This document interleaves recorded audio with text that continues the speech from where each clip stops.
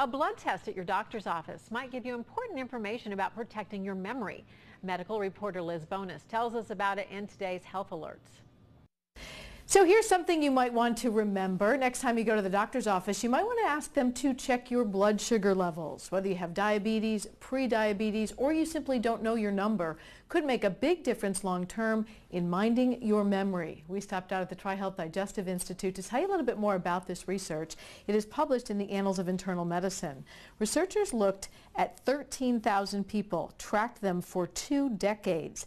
They found those that had poorly controlled blood sugar levels had a 19% higher decline in memory compared to those who had regular blood sugar numbers. Now, what was most interesting is that they actually found that when you compared these things, those who had blood sugars out of control had memory loss similar to someone five years older. So what you're really doing is sort of hanging on to that secret to eternal youth with your memory when you have your blood sugars where they should be or well controlled. That is our health alert. Your doctor can tell you more. In Montgomery, Liz Bonis, Local 12 News.